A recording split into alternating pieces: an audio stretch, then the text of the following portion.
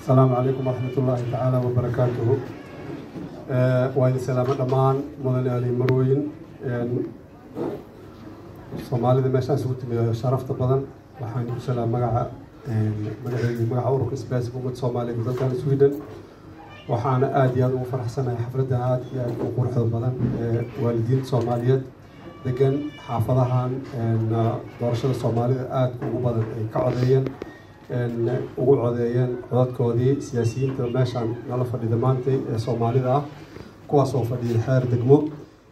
Waxaa kaloo farxad weyn inoo ah haddaan nahay bulshada soomaaliyeed ama jaaliyadda soomaaliyeed ee ku dhaqan dalkan sweden in maanta aan idinkala qayb galno xafladda soo dhaweynta duqa magaaladan yarva cusub oo maanta haddana aada dhalashadeedii ay tahay kooda luulio alxamdulilah xafladdii kooda luulio waa ka sheegnay inay kooda luulio laba labaa midooday kooda luulio sweden ama stockholmna labaa ku midooday oo waxay ahayday smungatensta iyo rinki bishista marka farxad weyn ayay noo aheeday waana waana ku faraxsanahnay waxaan rajeynayna insha allahu tacaala inuu bilaab waa bilow baraka inoo noqdo ilah hadduu yidhaahdo waxaan rajeynaya insha allahu tacaala yarva inay ka soo bixi doonaan sanadada soo socda doorashada dambena xildhibaano oo ilaa iyo heer baarlamaan ah oo soomaali ah oo xisbi kasta ku jira.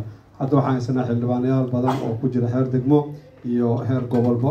Waana farxad weyn inaan maanta la wada ciideyno oo aan maanta soo dhaweyneyno duqa magaaladan letood ama gobanarka magaaladan yarba walaalkeen rashiid.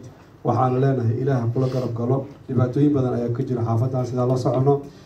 Dhibaatooyinkaasi ugu horeeyaan dhinaca waalidka dhalinyarada iyo carruurta iyo walwal badan oo jiro adduunka isoo taraayo. Taasna aan leenahay ilaa hadduu yidhaahdo ana haddaan jaaliyadda ummad soomaaliyeed diyaar ayaan u nahay inaan kaala shaqeyno arrimahaas sidai u fududaa laheeday iyo sidii ay wax ku suurtageli lahaayeen. Waana ku mahadsantihiin dhammaantiin casumaad aana casuumteen ururka isbaasiga ummad soomaaliyeed xafladan qiimaha iyo qayax badan. Waana u hambaleynaynaa walaalkeen iyo dhammaan siyaasiyiinta meeshaan fadhiyo. Sida sharafta leh ay nagu matalaan waa mahadsantihiin wasalaamu calaykum waraxmat ullahi wabarakaatu